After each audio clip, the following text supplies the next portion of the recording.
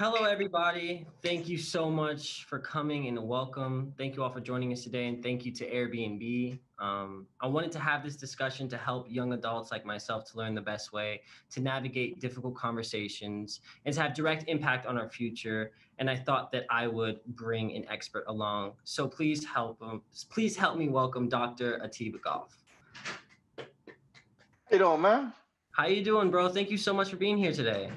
No, it's good to be building with you. I appreciate you having me on.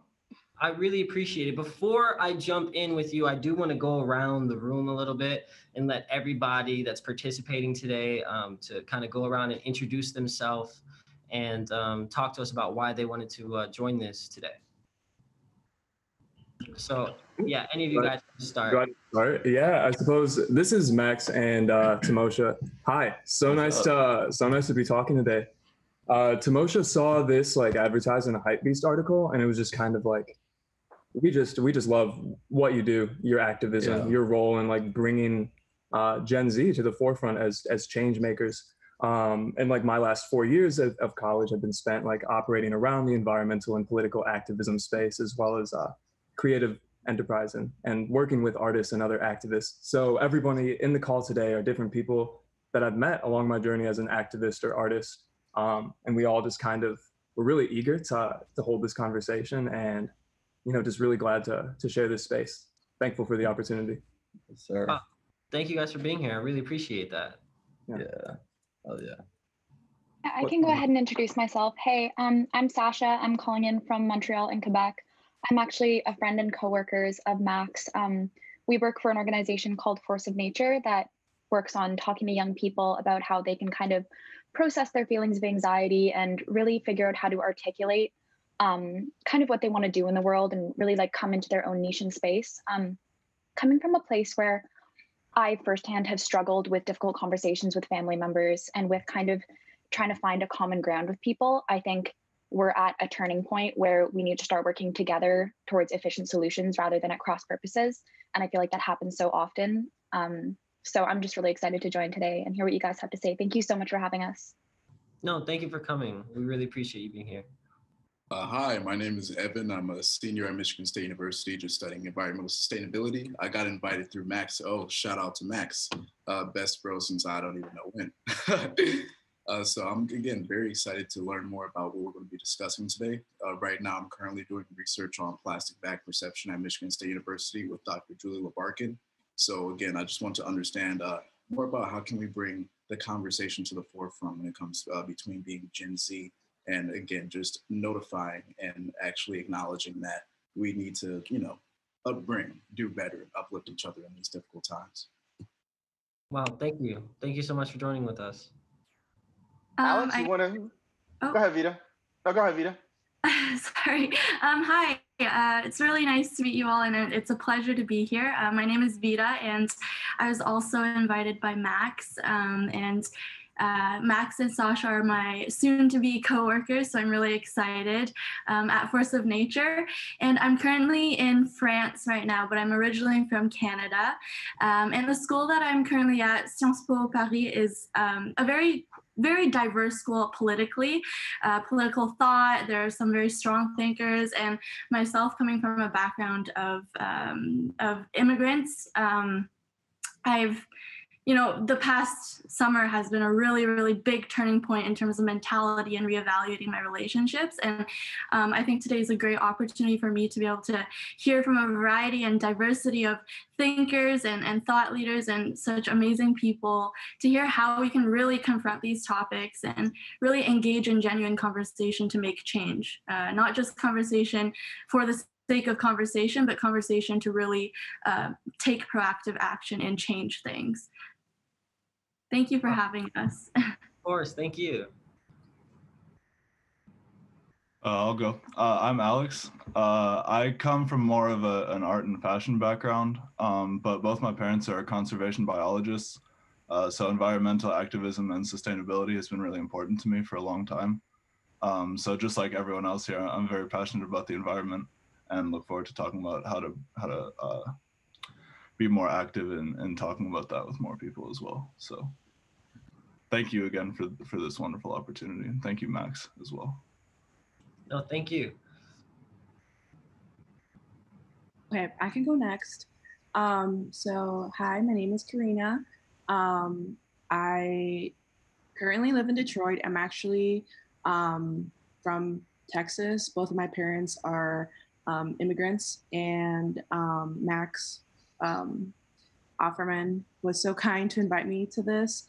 Um, but I have been doing a lot of um, racial justice work over the years, um, trying to get you know a lot of young people involved, um, trying to educate people on you know the matters that are going on right now, um, and it's it's an honor. thank you for having me here. No, thank you. Uh, hey, uh, my name's Jack. I'm a graduate of Michigan State University, so it's cool to see some familiar faces here. Uh, Max reached out to me about this event. Super cool. Just kind of heard about it yesterday, but seems like a really important conversation to be having. Uh, I'm up in Spokane, Washington right now. I'm actually an AmeriCorps service member.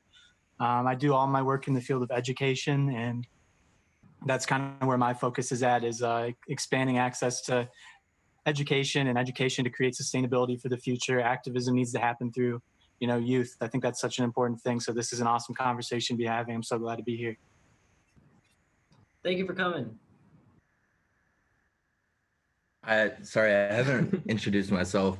Um, yeah, Jaden, like I see you. I mean, I haven't met you yet, and this is the first time interacting, but you're someone that embodies our generation and how we need to shift our just everything we do needs to shift towards um, purposeful action and deliberateness and um, being a, uh, just thoughtfully you know living your life with intention and with all these problems arising um, the youth need to be inspired as a collective and that's how we're gonna you know actually push this forward, this change.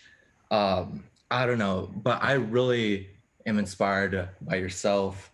Um, and yeah, and uh, I'm a clothing designer, uh, and I specialize.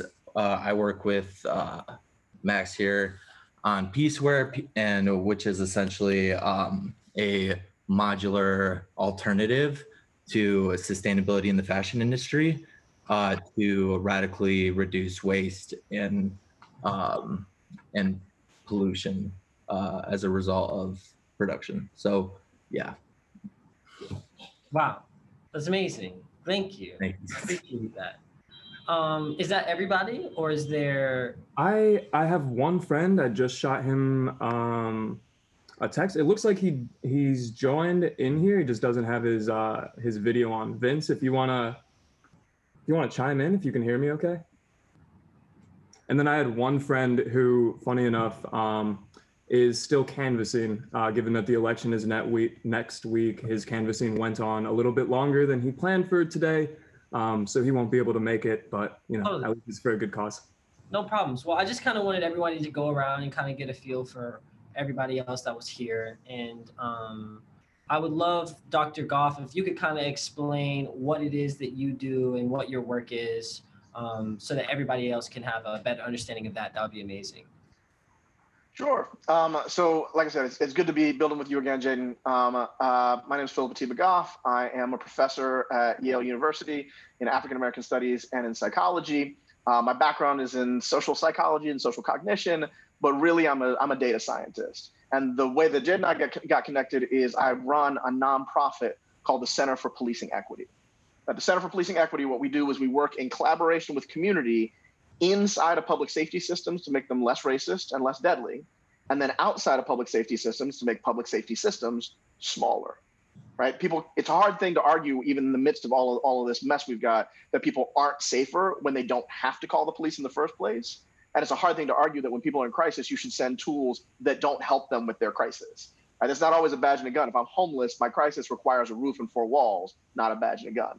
So that's what we do. You can think of us as sort of serving this, uh, I call it the Issa Rae principle. Like we're, we're rooting for everybody black, but also brown, and also queer and trans, right? But with public safety systems so that they can define for themselves what safety means and they are empowered to enact that. I'm just happy to be sitting here talking to folks. I'm glad that folks who are the age of my students are still interested in talking to me outside of class.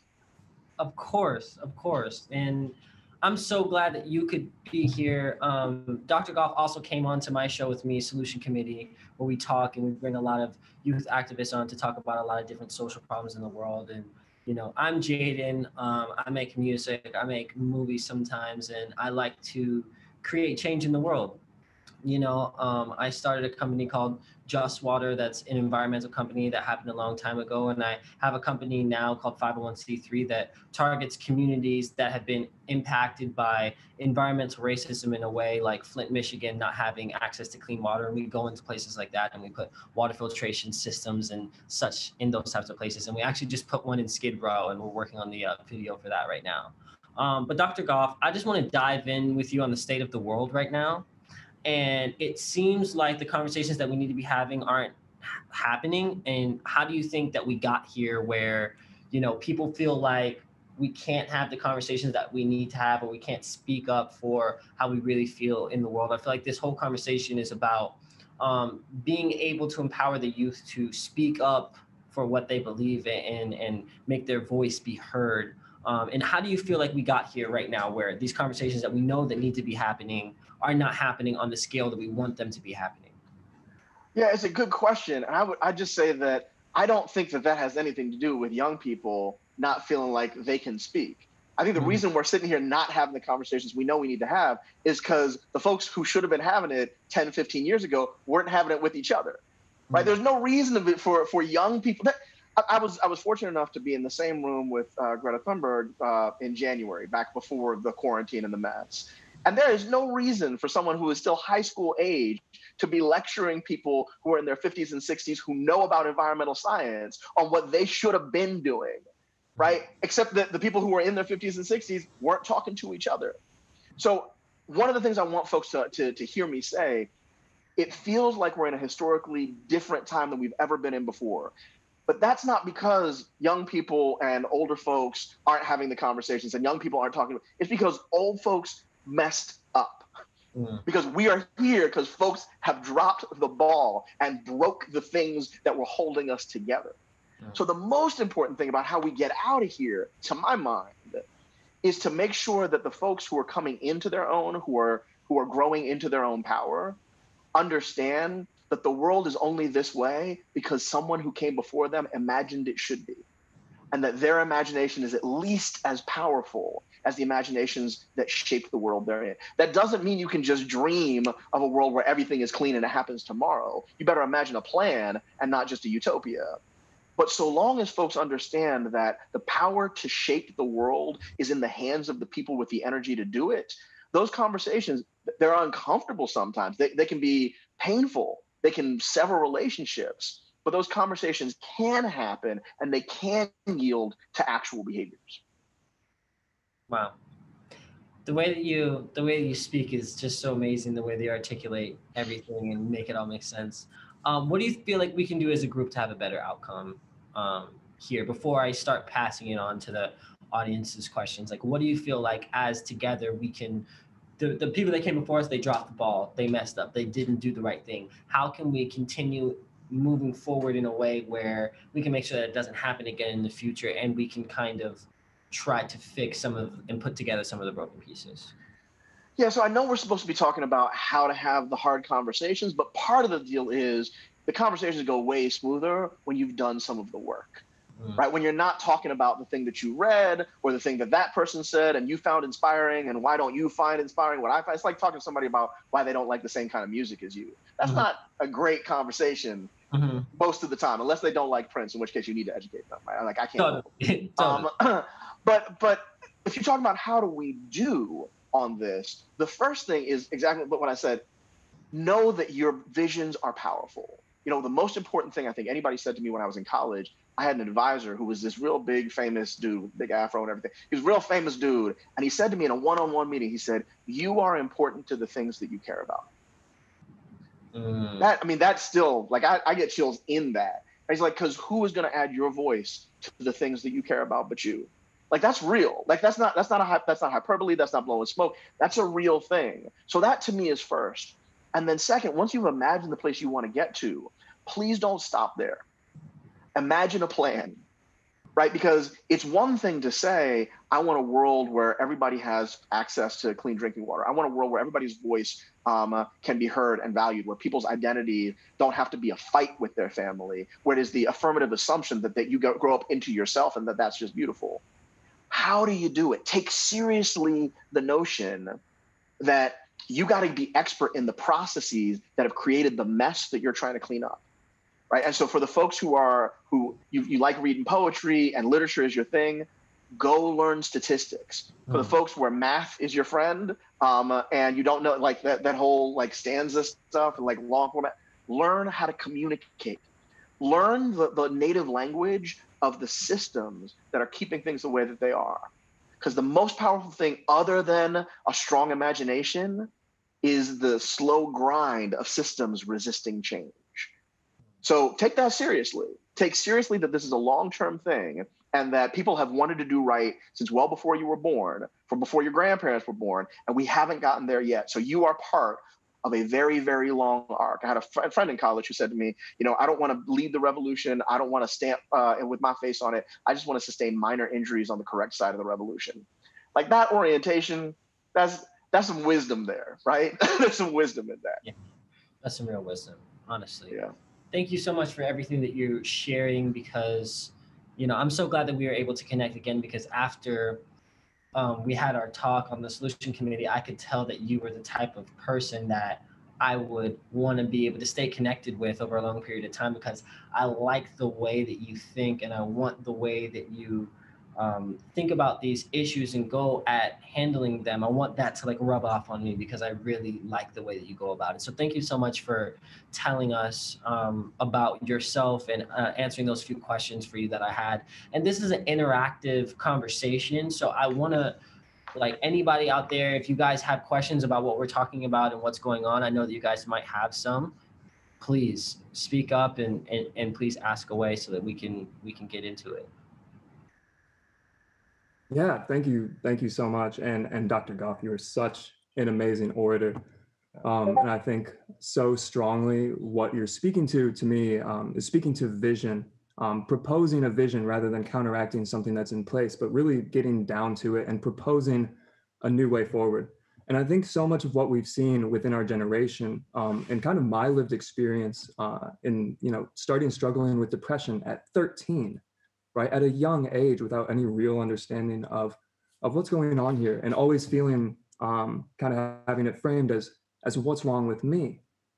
Um, not what's wrong with the world around me but i always blamed it very inwardly and you know didn't, didn't feel like i could talk about it for reason xyz um, but i think many of us in this call and then many in our uh, generation are are waking up to this and feeling a stronger desire than ever to walk away from the system that we have um, but many people don't have a new vision to work toward.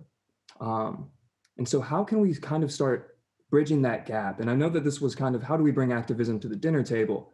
But even with that, I wonder how much do we need everybody to change? Um, you know, and if we're if we're really waiting for everyone to change, I think we're going to be waiting for another ten thousand years. Um, so, how do we really start instilling the sense of responsibility and ownership of vision within the next generation? Within my generation. No. no. Oh, yeah. no, go ahead, Jen. Go ahead, Jen. Okay, I, I was just gonna say that you're saying how do we instill the the vision to the next generation? I feel like it's so important. Like Dr. Goff said that he had that one-on-one conversation with his professor that really impacted him. Just how Dr. Goff is speaking right now, and it's really impacting us. I feel like the first step of that is saying to those young kids, hey, we want to hear your vision. Tell us what your vision is. We want to know what your vision is. It's like empowering people to know that they can format a vision and that their vision can be strong and that they can change the world with their vision. I would say that that would be the first step because even just Dr. Goff saying that and saying, oh, and talking about vision, it's empowering me to be like, wow, my, my opinion does matter. I do need to envision a better world. I'm not just wasting space in my brain. This is something that could actually help the world by envisioning a different, better future and actually taking steps in my life and dedicating my life to certain things to making those visions happen. Um, but Dr. Goff, what were you going to say? Yeah, no, and I'm, I'm so glad I get to go after because, um, you know, you've been saying such kind things to me. It's time for me to go ahead and pay that back. One of the things that y'all can do is find a way to live your life free. Mm. One of the things I respect so much about Jaden, what you have done um, in the shorter time you've had on Earth, is every public move you've made, you have found a way to be more free than the last time. Mm. Not constrained by what people expect for somebody um, of your age in your space to be like. Um, not constrained by the kinds of weights that I know could be put on you from the outside. You choose to try and live free. And the thing that I don't ever get about myself, I'm, I'm my same 13 year old self, right? Like I'm kind of awkward. I kind of have my friends. I have the people that are that I'm nervous to talk to. I am that same person 30 years hence. But the ways in which I choose to to step fully into myself, that's permission for somebody else to do the same. We don't recognize the power that the person we choose to be can have in other people's lives. And so, Max, you asked about like, do we need to convince everybody? I'm like, I, I so want that to be the conversation about Thanksgiving, right? I see you shaking your head. No, part of what I want people to understand is that when you have an argument, let's let's assume that it's the sort of traditional um, Thanksgiving, right? And so you got extended family there, and the, and the argument is never with your parents; it's always with the uncle, right? That uncle's the the father to somebody, but whatever, right? So like you're having that argument. Sometimes the argument is not for the sake of the uncle; it's for the sake of the nephew, right? Sometimes the reason you're doing that is to say, I, my voice has power, and I refuse for you to speak that way in my presence, right? And then at some point, you got to say, all right, I can love you and disagree, and I got to step away. And the other part of this is not at the table, it's what power we give and we take as we move towards the world that we want to see. Hmm. Those things are not, they don't have to be the same. You don't just have power by who you convince, right? And for everybody who's listening to this who's in high school, it is definitely not about who you're convincing in high school when you leave high school, the whole world is a very different place. The, folks who are, I'm seeing the, my dude who's in Michigan State right now, right? Whoever you were in high school, you you are not that person today, and I know you are glad of it, right? So it, it's both who you can step into and how you show up for the conversation, even if you have convinced nobody, because your life and your views are powerful to people you don't expect. Mm. That's that's such a good point that's such a good point. I love the maybe the maybe the argument is not for the uncle and it's for the nephew, right? because I feel like I've been that nephew in the room sometimes where one of my cousins is saying something or speaking up or doing something that I would do at my age now, and I'm being young and I'm seeing that and I'm like, wow, like that's how you handle that situation or that's how you respectfully place yourself you know firmly just in your own skin. You know what I'm saying? You're like, mm-hmm. this is who I am and this is how I feel about the world, and you know, not letting people take that power away from you. Mm-hmm. So I really love that. I'm gonna use that. I'm gonna definitely use that. Um, do we have any other questions from anyone about uh, what we're going through, what we're talking about? Yes. Yeah, I would love to ask a question. Um, kind of coming from the perspective of the dinner table, I feel like in those hard conversations, I've had, it's always struck me more and more how effective it is to know when to speak and when to push and then when to step aside and let other people speak for themselves and kind of when to pass on the torch when to say no you shouldn't be hearing it from me. You should be hearing it directly from the people who are affected. Like this is not my platform to speak from.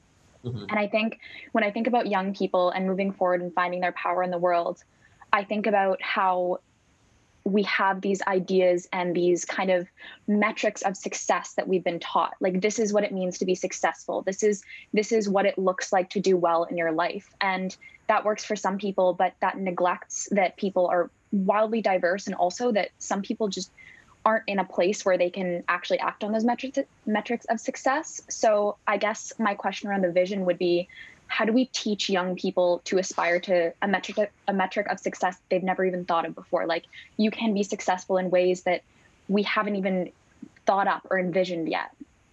Yeah i think that that's that's a really interesting um, that's a really interesting question because you know i do feel like we have very interesting metrics of success or even the idea of winning and failure in what is that and how do we teach people to have different metrics of success? I feel like that's important because a metric of success could be making sure that you know making sure that everybody is looked after you know like that's what success you know we can teach people that that's what success is making sure that everybody's okay that there's not certain groups of individuals that are treated completely unfairly or um, not looked after in any way. I feel like if that was a metric for success or if that's what success looked like for young people i feel like we would see a very different world or just you know so many people want to just win or be the best or be number one or be over someone else or I feel like a metrics of success should really be just to be happy and for everyone to be able to be happy and to have that, you know, evenness and fairness in in kind of a world in a society. I feel like um, you know those types of different metrics of success are important because sometimes you can be like, oh, I want to win, I want to be the best, or da da da, but then you can still be sad or not happy, or the people that you care about and the people that you love can be being unheard or being treated unfairly.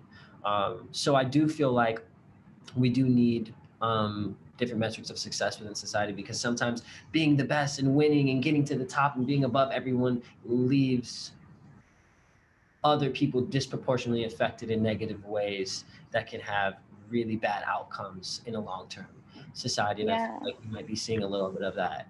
Um, yeah. So that that was a really amazing one, honestly.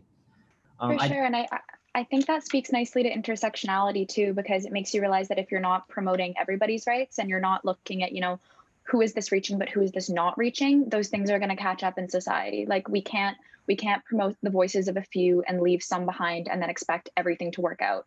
There's one thing we've learned from COVID, I guess, it's that like the health of everyone is a global issue. Like everything is global health, everything is global sustainability. Mm-hmm. And it's about the well-being of everyone, all of us, all boats rising with the tide, and not um, disproportionately letting other people suffer, you know, in the ways that we have been doing historically in this country. So I do feel like a, a huge change is is very necessary. And thank you for asking that question. I did see somebody else was raising their hand for a question. Um, if they want to ask that question now.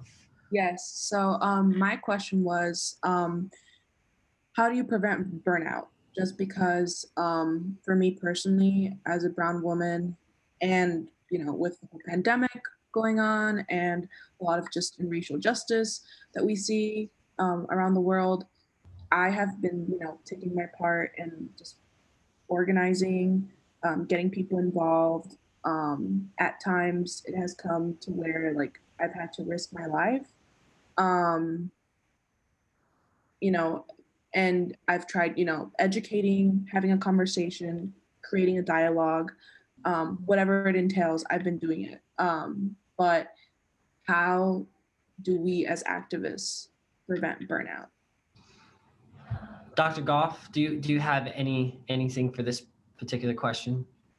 It's, I mean, it's a great question. Um, I'd start by trying to normalize that what you're going through is not you're not alone in that right? And to, to go back to Sasha's question in terms of the metrics of success, like mm-hmm. in the same way, sometimes the life that will be the comfortable life or the life that allows you to, to realize the person you're trying to be, you haven't encountered it yet.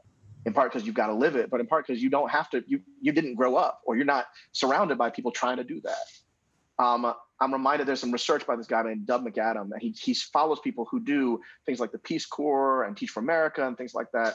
And it turns out, like 20, 30 years afterwards, they're no more involved in um, sort of social justice and public service than the folks who did no service whatsoever. And it's not a diss to the folks who got involved. It's that doing that life has so few rewards baked in. You think about like you go into investment banking and the amount of money you make, you can give like less than 5% of your salary. And that is way more than the average salary of someone who's running a nonprofit. So we don't we don't set up the systems to make it easy to do this work. And for so many of us, we do the work because it, it, we feel it in our bones. Like, how could we do anything other than? We do the work because we can't live a life where we're not doing it. So of course you're going to get burned out. Like I don't know if you've if y'all have been in relationships where all you did was hang out with each other and make all your friends sick, right? That that's that's not gonna last. That's gonna burn out. right? I hate to tell you, if you're in that relationship now, uh, and it's the same thing. If all you're doing is activism not broken up into a full life, then you are falling into that same trap where you have not supported the things that you care about with a life that can can take care of it. So I mean, what this is a lot of words to say. Self care is a real thing and it's a revolutionary act, and y'all need to be doing all that stuff. Um, but the reality is, we have not created systems that support people who want to do the right thing for a living. So you got to think about a vision where that's part of what you're making you're you're making happen too, not just the world you want to see, but a life for someone who wants that world. Wow. That's so amazing. And just and just back bouncing off of what you just said, back to visions, it's like we have to include that within our visions. And so much of being able to have those visions is being able to have the information to populate the vision with, oh, I want things to be different like this. I want this to be different. Uh, and things need to be like this and like that. You have to have the information in order to have that vision. So if you ever feel like, oh, the vision isn't coming or I don't know how to put the vision together, educate yourself because what Dr. Goff has just told me by educating me with every word that he says hmm. it's now enhancing my vision that I have of the world. Or, oh, you're right. The world should make it easy for people that are running nonprofits. I, I have a nonprofit and I'm like, you're right. I have had to jump through, you know, burning hoops to just do simple things. And it's like, it should be easier for, for people who are doing the world should be set up so that, you know, it's easy to be a good person and to impact the world and that you don't get that burnout because it does happen when you're just talking about what's going on in the world so much and you're just every day you know talking about this and demanding justice and still feel as though that you're still as unheard as as ever when you know that you're making so much more of an impact than ever with the whole community and you still feel as though that the world is just still just just not caring and not counting you in and it's it's it's sad but I feel like that's a part of this conversation too, where it's like, hey, we have each other. We all have felt that. We all have been there. We've all, you know, had that. And like together we can get past that and we can get through that and we can grow together, you know, and um COVID is making it really difficult too because you can't be with those people that might be on the same page with you. You know, it's like maybe me, me and Dr. Goff are, are vibe super hard when we're together and we see eye to eye on so many things, but you know, we've never met you know what I'm saying? Because of COVID. You know what I mean? So it's harder for people to really get in those clicks where you feel like, ah, oh, we all like, we feel each other. We all have that burnout. We all feel like this. We all do this. You know what I'm saying? Like, it's harder to feel like that and, and to have that interconnectedness because community, whether you're at a march, whether you're at a protest, it's so much of the community. You have your clique when you're at the march. You have your clique when you're at the protest. You have those people that are with you. You know what I mean? Or even in school when you're studying or anything. So you know that's that's another reason that we wanted to have this conversation so that we could be each other's you know like click through this and have this conversation today and take this inspiration moving forward. We don't have that much time left so i want to if anyone else has any other questions we can we can jump into that. I just wanted to say like oh um the idea of like um empowering the youth like redirecting the entire narrative of rather than you know being born and you know following this like go to school go to you know get this job get this you know make sure you have your money down make sure you have your house you know like this narrative um, of individualism and developing a life that's centered around self rather than you know you know blossoming into a bouquet of flowers that starts to sprout and like you know channel through all these different people. This idea of positivity and ingraining that into the youth i think is something that's overlooked. I don't think you know f- from from a childhood it's always like jaden mentioned earlier like it's competition. It's like mm. you know i'm can i be matthew? And you know score three goals instead of like the two that he scored last game. Like it's always that competition and there's no love. There's no like respect. There's no um there's no pure like damn good for you like i love like that you're able to do that for yourself for your own personal development i think that i don't know i've i've never i haven't heard that perspective of yo, what if we just began like just putting seeds of positivity into the world and and uh, providing by opportunity and you know all of this shit uh, things. I'm sorry, I'm oh, yeah, um, but like it's something that is missing. I don't know. It just really touched me, but I think that that's what is gonna get you know. I yeah. I think. Oh. No, we, we totally catch the vibes. We're all homies here, and like you know what I mean. Like we we catch the vibes. It's like it's it's about us being together. It's about community and being like, yo, bro, we see eye to eye together. It's like we all do. It's like, and we care about each other, and we want the best for the world, you know. And being able to have that, you know, interconnectivity of a group of people that can do that together and accomplish that goal. So, you know, that's what this is all about, and that's and that's really what it is. So, you know, I'm I'm happy that we can all be here and do this. I think we might have time for maybe one more question if anyone has anything. Um, yeah, I I have a sorry. Um, I have a question. Again, thank you so much for doing this. But I have a question, kind of going back to the very first thing that you mentioned, Dr. Goff, um, about we're having these issues and and the realization of these problems now because we didn't have these, or the generations before us didn't have these conversations um, in like a sit a face to face conversation about these issues and how to solve them. And um, a lot of the barriers and limitations that we face today and, and sort of the systemic change to make the world a better place for future generations is that immutable mindset that a lot of our older, a lot older, a lot of the population of the older generation um, has. And my question is, um, like with the shift to social media, the activist shift to social media, um, the, the very big wave of uh, social media activism that occurred um, over the summer, um, something that I've had multiple conversations with uh, my friends is that we're not really reaching new ears, new eyes. It's the same information that, that's being circulated um, to the same people um, on social media. And um, the thing is, the most important people, the people that we need to change, the people whose mindsets need to change, and who are acting as barriers to um, the positive change that we seek, they're not on social media and they won't listen as much to us um, and we don't exactly have that direct access to them. Um, so my question is how do we reach these people and how do we touch them effectively um, to really enact change in the world? It's a, it's a great question. Um, you know I, I hear what you're saying that um, some of the folks that you, that you want to talk to they're, they're not following you on twitter right? They don't they don't view your Instagram stories, um, and so how how the heck are you supposed to talk to them? And under COVID, that's an even better question, right? Because you can't go and visit. Um, but I want to I want to tie your question back to Timosha. What Timosha was trying to say about love and the and and the vibe that, that we're all catching on this is sometimes sometimes they'll listen when you win. Sometimes they'll listen when you have the power to change the policies. So I just I just want to be really clear.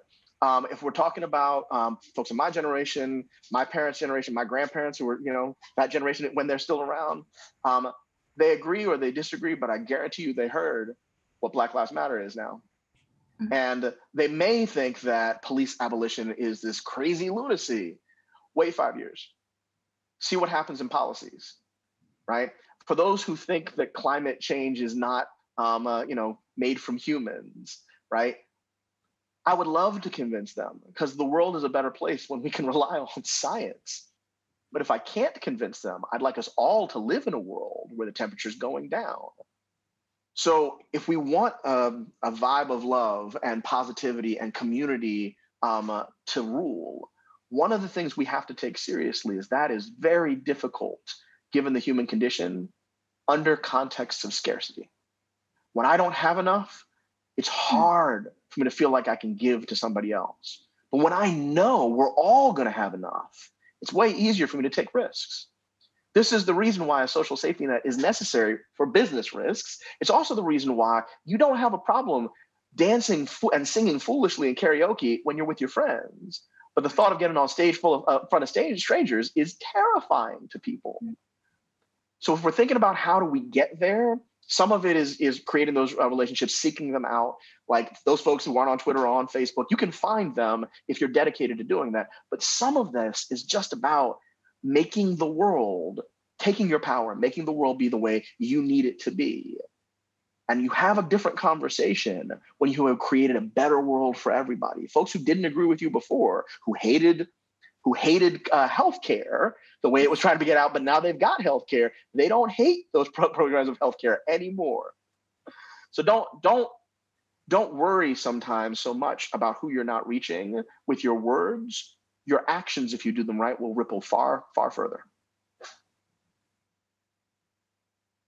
Oh, boom. I can add in too. I think one of like the best parts of that idea is that this next vision won't be imaginable either until someone goes in and does it. Uh, until you have people like Dr. Goff that start actually implementing solutions and then they can point to them and say, look, but this works. And you can't even dispute that. Is this idea right? That the people in the Middle Ages didn't think of themselves as being in the middle of anything. Mm. Right? I, it's very much the same position right now. We can't imagine something going beyond civilization that we have. Uh, and I thought Dr. Goff did a great job of speaking to just how we bring that into existence, just one idea at a time, one conversation at a time. It all starts with education too, and just establishing that connection. Even if we are in a virtual you know, world, there is a type of way that we can connect with each other virtually, create virtual spaces, and you know, tell our story and create action through that. One hundred percent. I just want to say thank you to everybody here and for coming and to having this amazing conversation with us. Also, just want to say thank you to Dr. Goff for being here and educating all of us through our journeys of understanding, of trying to, you know, navigate this crazy world. And just like you said, this virtual conversation that we're having, I would love to uh, take a virtual selfie with you guys if that's possible. Um, and I also just want to say big shout out to Airbnb for hosting this conversation. We really, really appreciate this. And yeah, so we're gonna take a quick virtual selfie one time, guys. Um, if everybody can just give me your best selfie, you know what I'm saying? Boom. Thank you guys for being here. Rock and roll lives. And thank you guys so much, Dr. Goff. Once again, I will be in communication with you and everybody. Thank you so much for signing on to this, and we really appreciate you. And Airbnb, thank you so much. And until next time, guys, I hope you all have an amazing day. And yeah, thank you for having this conversation. Thank you Thanks, so y'all. much. Such a privilege. Thank you, Jaden. Thank you.